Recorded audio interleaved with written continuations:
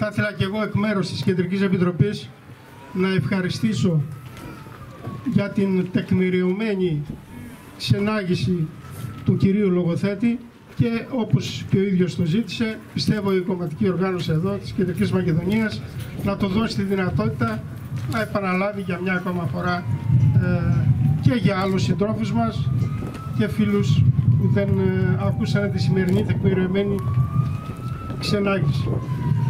Όπως σημείωσε ο σύντροφος ο Ηλίας, ο Τζιλιάνης, επιλέξαμε να πραγματοποιήσουμε τη σημερινή μας εκδήλωση εδώ στο Γιατί Πουλέ, στον τόπο μνήμης και θυσίας, στενά δεμένο με τους αγώνες του λαού μας.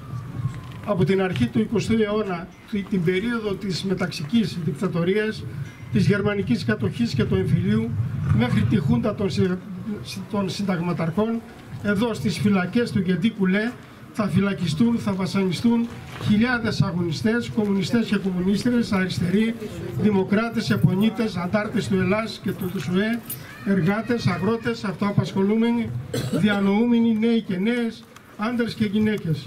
Πολλοί από αυτούς, βεβαίως όπως σωστά επισήμανε ο σύντροφος ο Ηλίας, εκατοντάδες θα εκτελεστούν. Την περίοδο του εμφυλίου μπήκε σε ισχύ το περιβόητο τρίτο ψήφισμα ακολουθεί το Δεκέμβρη του 1947 ο νόμος 509 που είναι η συνέχεια του γνωστού ιδιώνυμου της κυβέρνησης Βενιζέλου. Το ΚΚΕ βγαίνει εκτός νόμου και οι εκτελέσεις πλέον γίνονται καθημερινότητα. Σήμερα που οι σφαγείς των λαών, οι συνεργάτες των κατακτητών και πυρωμένοι κονδυλοφόροι ξαναγράφουν την ιστορία, σήμερα που μιλάνε για τη θεωρία των δύο άκρων, έχει μεγάλη σημασία να θυμίσουμε και να θυμηθούμε τις ατέλειωτες θυσίες των κομμουνιστηριών και των κομμουνιστών και του λαϊκού κινήματος. Γι' αυτό ως Κομμουνιστικό Κόμμα της Ελλάδας αναλαμβάνουμε πρωτοβουλίες για την ανάδειξη του Γεντή Κουλέ ως τόπο μαρτυρίου και θυσίας για να μην σβήσουν από τη λαϊκή μνήμη ούτε τα χρόνια της φρίκης αλλά ούτε και το μεγαλείο αυτών που αψήφισαν τον θάνατο όλους όσους αγωνίστηκαν για να έρθουν πιο κοντά τα όνειρα για μια κοινωνία χωρίς εκμετάλλευση ανθρώπου από άνθρωπο για το σοσιαλισμό κομμουνισμό. Στα πλαίσια αυτά, την Κυριακή 7 του Μάη, η κομματική οργάνωση της Κεντρικής Μακεδονίας, το ΚΚΕ, οργανώνει στον εξωτερικό χώρο των φυλακών μεγάλη εκδήλωση με ομιλητή το σύντροφο Δημήτρη Γόνδικα, μέλος της Κεντρικής Επιτροπής του ΚΚΕ. Προχωράμε επίσης στην ανέγερση μνημείου στον χώρο του Γετή Κουλέ που θα θυμίζει τις θυσίες και τα μαρτύρια των αγωνιστών φιλοδοξώντας να αποτελέσει μνημείο Ανάστασης νεκρών, Ανάστασης των ηρώων μας. Επίσης, ιστορικοί σύντροφοί μας και συναγωνιστές ξεκίνησαν το δύσκολο έργο της μελέτης και συγγραφής της ιστορίας του κολαστηρίου των φυλακών, την καταγραφή των αγωνιστών που μαρτύρησαν και εκτελέστηκαν στον χώρο αυτό. Συντρόφισσες και σύντροφοι, φίλες και φίλοι, με τη σημερινή μας εκδήλωση για τα 56 χρόνια από το στρατιωτικό πραξικόπημα του 67 τιμάμε όλους όσους αγωνίστηκαν κατά της δικτατορίας, τους κομμουνιστές και τις κομμουνίστρες, άλλους αγωνιστές και αγωνίστρες που βασανίστηκαν, φυλακίστηκαν, εξορίστηκαν, όλους όσους στον αγώνα αυτό έδωσαν ό,τι πολυτιμότερο είχαν την ίδια τους στη ζωή.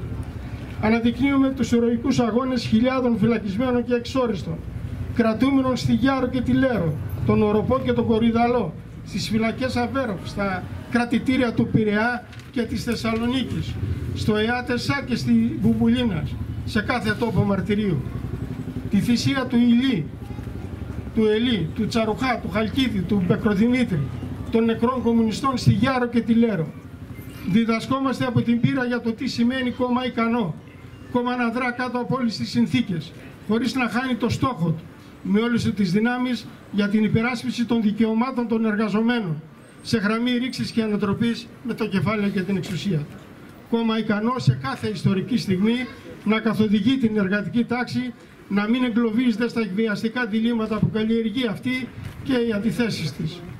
Η δικτατορία απέδειξε ότι η αστική τάξη επιλέγει να μεταφέρει το κέντρο των πολιτικών επιλογών έξω από το Κοινοβούλιο όταν η εργατική τάξη με τις λαϊκές μάζες βγαίνει στο προσκήνιο, όταν νιώθει να απειλείται από τα κάτω, αλλά και όταν διαπιστώνει ότι τα κόμματά της υστερούν και δεν μπορούν να ικανοποιήσουν τις σύγχρονες ανάγκες του κεφαλαίου.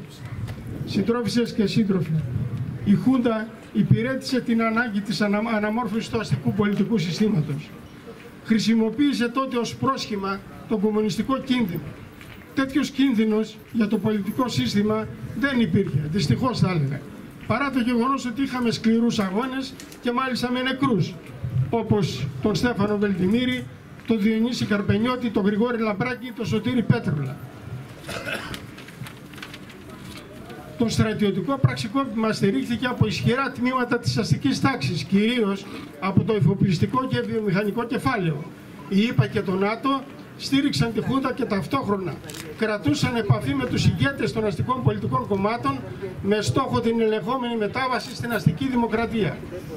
Το ΚΚΕ από την πρώτη μέρα καταγγέλλοντας το πραξικόπημα ανέδειξε το ρόλο αυτό των ΙΠΑ και του ΝΑΤΟ τη στάση των ΙΠΑ καθόριζαν, όπως και σήμερα άλλωστε, τα εμπειριαλιστικά τους συμφέροντα στην περιοχή. Νομιμοποίησαν την τουρκική εισβολή και κατοχή στην Κύπρο τον Ιούλιο του 1974. Στήριξαν την Τουρκία στην κατοχήρωση τετελεσμένων. Εδραίωσαν τη διχοτόμηση της Κύπρου. Επιλογή που ευνοούσε και τη Μεγάλη Βρετανία εξαιτίας των στρατιωτικών βάσεων που διέθετε η Βρετανία και διαθέτει στο νησί. Η αστική τάξη και οι πολιτικοί της εκφραστές προσδοκούσαν στην ομαλή μετάβαση από τα πάνω στην αστική δημοκρατία. Απέφτονταν μια λαϊκή εξέγερση. Το ΚΚΕ και η ΚΝΕ αποτέλεσαν την ψυχή του αντιδικτατορικού αγώνα. Το κίνημα κατά της δικτατορίας, παρά το αρχικό μούδιασμα του λαού, άρχισε να αναπτύσσεται με τη μεγάλη συμβολή των κομμουνιστών, των κομμουνιστηριών και άλλων αγωνιστών, με τη δράση των παράνομων οργανώσεων του ΚΚΕ και της ΚΝΕ, τη διάδοση του παράνομου ριζοσπάστη, του οδηγητή και άλλων αντιδικτατορικών εντύπων. Ευεργετικά αποτελέσματα στην πάλη αυτή είχε η ηρωική στάση των κομμουνιστών στις φυλακές και τις εξορίες. Η αλληλεγγύη που αναπτύχθηκε από τις σοσιαλιστικές χώρες και φυσικά το παγκόσμιο εργατικό κίνημα. Η πάλι δυνάμωση μετά την απελευθέρωση των πολιτικών κρατουμένων, ενώ υπήρχε μαζικό, πήρε μαζικό πολιτικό χαρακτήρα, αρχικά με την πρώτη κατάληψη της νομικής στο Φλεβάρι το 1973 και κορυφώθηκε το Νοέμβρη στο Πολυτεχνείο. 56 χρόνια από το στρατιωτικό πραξικόπημα του 1967, οι αστικές πολιτικές δυνάμεις προβάλλουν ως μονόδρομο την καπιταλιστική εξουσία, που είναι η δικτατορία του κεφαλαίου. Ως ΚΚΕ, τιμάμε τους χιλιάδες αγωνιστές και αγωνίστρες που αγωνίστηκαν ενάντια στη Χούντα, μπαίνοντας και τώρα μπροστά στην οργάνωση της ταξικής πάλης και της αντεπίθεσης του λαού απέναντι στην αντεργατική αντιλαϊκή επίθεση που γεννάει βάσανα για το λαό και πλούτη για το μεγάλο κεφάλαιο. Προχωράμε με αποφασιστικότητα, γνώση και πείρα, με όλες μας τις δυνάμεις, στην εκλογική μάχη που έχουμε μπροστά μας για ισχυρό ΚΚΕ στήριγμα στον αγώνα του λαού. Ενάντια στην αντιλαϊκή πολιτική ανοίγοντας δρόμο για την ριζική ανατροπή της. Συντρόφισσες και σύντροφοι, φίλες και φίλοι, όποια κυβέρνηση και αν προκύψει στις 21 του Μάη, απέναντί μας θα έχουμε ένα εχθρικό κράτος, το αστικό κράτος, την εξουσία του κεφαλαίου, που λειτουργεί με κριτήριο την κερδοφορία των μεγάλων επιχειρηματικών ομίλων. Αυτά τα συμφέροντα υπηρέτησαν διαχρονικά όλες οι κυβερνήσεις, είτε μονοκομματικές είτε συνεργασίες, συνεργασίες κεντροδεξιές, κεντροαριστερές, δίθεν αριστερές ή δεξιές. Νέοι και νέες συντρόφισσες και σύντροφοι, περιθώρια για αυταπάτες δεν υπάρχουν. Μόνο η ψήφος στο ΚΚΕ είναι χρήσιμη για την εργατική τάξη, τους επαγγελματοβιοτέχνες, τους βιοπαλιστές αγρότες απέναντι στην επόμενη κυβέρνηση που θα είναι από χέρι αντιλαϊκή.